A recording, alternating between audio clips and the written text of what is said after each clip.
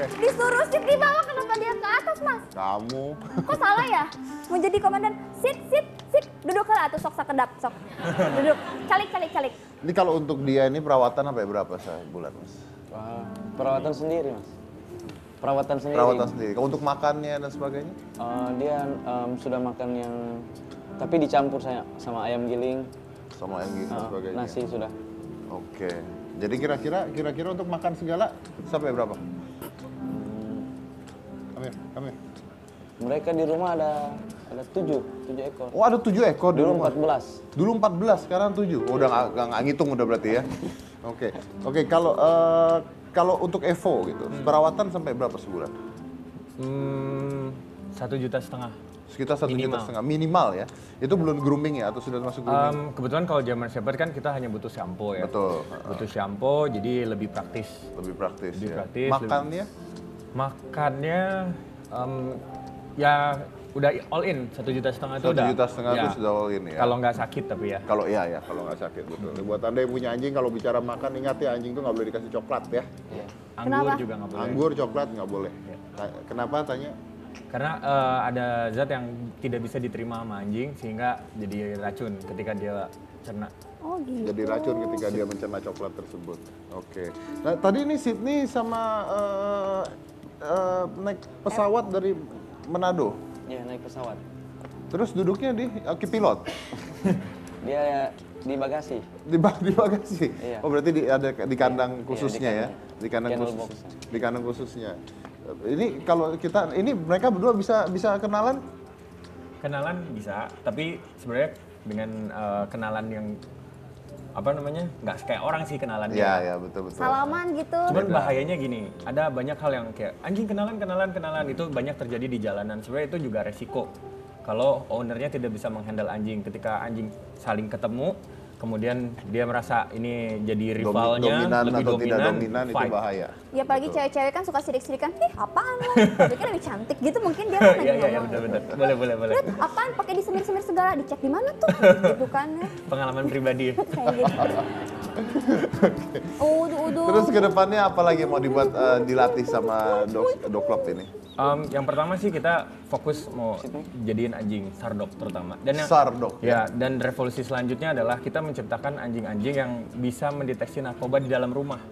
Itu jadi gini, kan narkoba itu sekarang jadi concern sekali ya. Banyak orang yang piara anjing tapi tidak bisa memanfaatkannya dengan maksimal. Jadi sekarang itu untuk melatih anjing narkoba itu nggak perlu misalnya eh, dengan narkoba aslinya, tapi ada satu essence atau menyerupai. Nah itu dilatih ke anjing. Jadi kalau misalnya ada temen datang ke rumah atau ada anak bawa narkoba gitu, Dia bisa tahu. bisa tahu itu yang belum terpikirkan biasanya sama teman-teman. Nah, saya Oh. berpikir begitu untuk menyelamatkan generasi lewat binatang peliharaan Lewat yang kita binatang sayang. peliharaan yang kita sayang. Jadi maksimal. jadi maksimal. Oke, menarik banget ya. Jadi kalau misalnya Anda di rumah ada teman anak Anda atau apa siapa yang bawa narkoba, dia bisa dia bisa tahu ya. Karena bisa aja lagi bawa ke rumah nggak salah digerebek kalian. Ya. Nah, itu yang jadi masalah. Dia punya anjing tujuh ya di rumah ya, tapi sebentar lagi delapan karena Sydney sekarang lagi hamil katanya nih. Oh. Ya.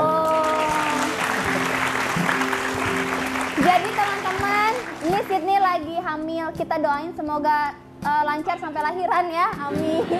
ya. Maksudnya kalau udah pinter kalau udah pinter begini biasanya begitu lahiran banyak yang mau nih nanti anak-anaknya nih. Oh gitu ya? Iya, dan mahal nih kalau udah kayak begini biasanya nih. Ini aja coba saya tanya terakhir. Kalau untuk kita membeli anjing yang sudah pintar, sekitar berapa? nggak ada nominalnya, tapi em, kepuasan yang gitu ya. Kalau nomen- kalau ngomongin nominal sih kayaknya nggak It's okay, deh. give me the most expensive one.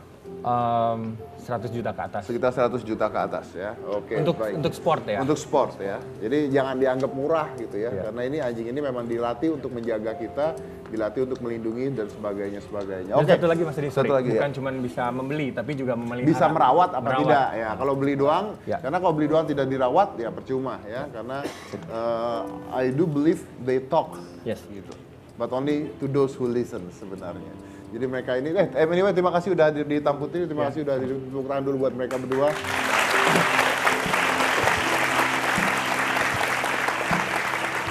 dan saya tuh punya eh, anjing karena orang tua saya dulu punya anjing saya punya anjing dari jadi dari dari usia 7 tahun saya punya sampai saya 30 tahunan saya punya Tapi nggak pernah sekalipun tuh saya digigit anjing sampai eh, parah dan sebagainya enggak. Jadi sebenarnya mereka itu bicara, mereka itu bisa bicara sama kita. Tapi kalau kita benar-benar mau dengerin mereka bicara, kita bisa tahu mereka maunya apa ya. Karena mereka bukan hewan liar, bukan hewan liar. Mereka adalah hewan yang didesain untuk mendampingi manusia, bahkan untuk membantu tugas-tugas manusia. Makanya sekarang kepolisian pun menggunakan eh, anjing tersebut. Oke, terima kasih untuk kehadirannya dan one more time that dogs do speak, but only to those who wants to listen. Saya dari Komisi Cika Jessica, inilah hitam.